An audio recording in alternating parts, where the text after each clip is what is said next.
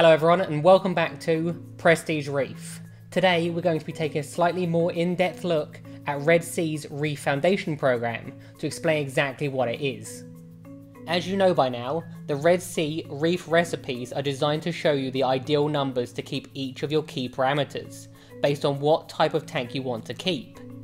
These parameters are slightly elevated compared to natural seawater levels, however they've been calculated to ensure they're still balanced. One of the biggest benefits from this is that it allows a buffer so that your corals don't become stressed by making it less likely that these parameters will drop below the levels of natural seawater. Their foundation program is part of their recipe program, where they've created a complete range of highly concentrated supplements and test kits. These you can use to both test and make adjustments to your parameters. The reason I specifically mention concentrated is because I've been informed that they're as concentrated as you can get, therefore in theory means you need less of them, which in turn can save you money compared to less concentrated products.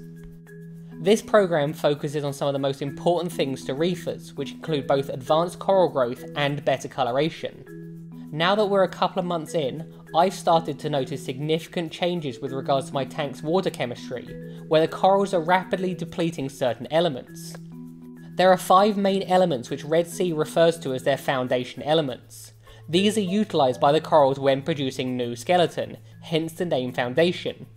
These are calcium, magnesium, and carbonate, as well as the less talked about trace elements, strontium and barium. In the wild, corals have a virtually unlimited supply of these elements, whereas in our glass boxes, some of them will drop much faster than others. This can be an issue because if the corals aren't provided with the optimum balance ratio of these elements, their growth will be stunted and the skeleton that they produce will be defective and very brittle. Think about it this way if you mix cement using the incorrect ratio of ingredients, the cement won't be as strong. The same applies to the coral skeleton. It also works the other way around, where higher amounts of these elements, providing they are balanced, can lead to accelerated growth, as the corals need to use less energy absorbing them from the water, as they're in such abundance.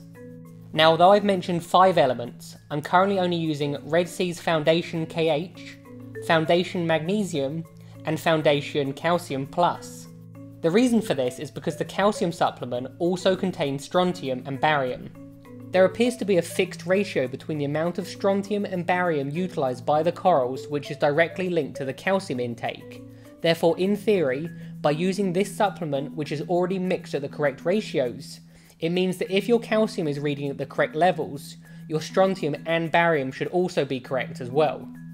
It's very important that you test your parameters weekly, especially alkalinity, as stable alkalinity is one of the key factors to keeping corals healthy and happy. I hope you enjoyed watching my video. Please feel free to comment below if you have any questions. If you did enjoy it, why not click that like and subscribe button. Have a good week, and I'll see you next time.